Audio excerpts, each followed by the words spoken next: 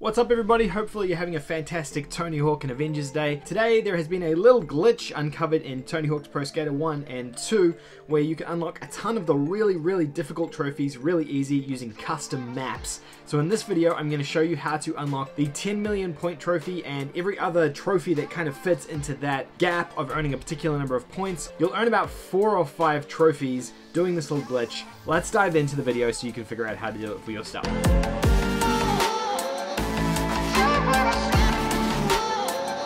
Now in this video I'm going to show you how to get these scoring based trophies like really easily. These are no brainer easy.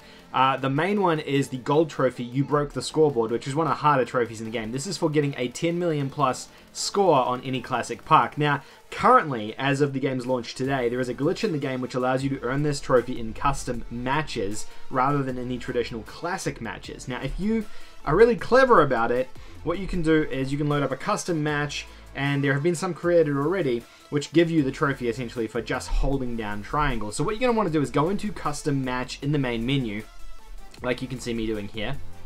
And then you want to go to search and search for 10 million. Now there's already a couple of maps created for this. Uh, I use this one here, which is the 10 million trophy easy map. Now what you want to do when you get into the map is hit over to the center and you'll see these ramps all sitting next to each other and all you're going to want to do is hit the triangle button and hold down the triangle button and keep doing circles around these ramps. And this is going to basically do a continuous kiss the rail trick that just continues to multiply and multiply until eventually you accumulate enough points to unlock that 10 million points trophy.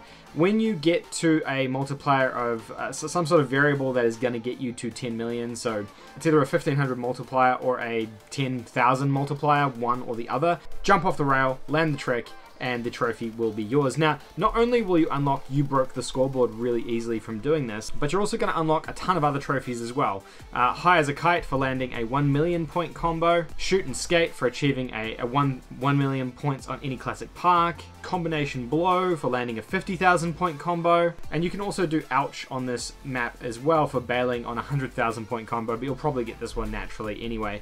So there's an easy and quick way to unlock 5 trophies in this using this glitch this is a no-brainer way of unlocking this trophy, and otherwise, I would say You Broke the Scoreboard is probably going to be one of the more difficult trophies in the game. So this glitch is actually really, really valuable.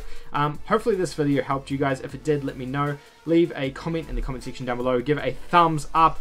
And if you're a new viewer of the channel and you've just discovered this video, please consider hitting that subscribe button down below. I make trophy videos like this every single day on the channel, so hit that subscribe button so you can stay up to date. Thank you guys so much for watching, and I will see you in the next video. Oh, I have a Tony Hawk trophy guide and roadmap coming out in the next couple of days as well, so stay tuned for that. Thanks guys, bye.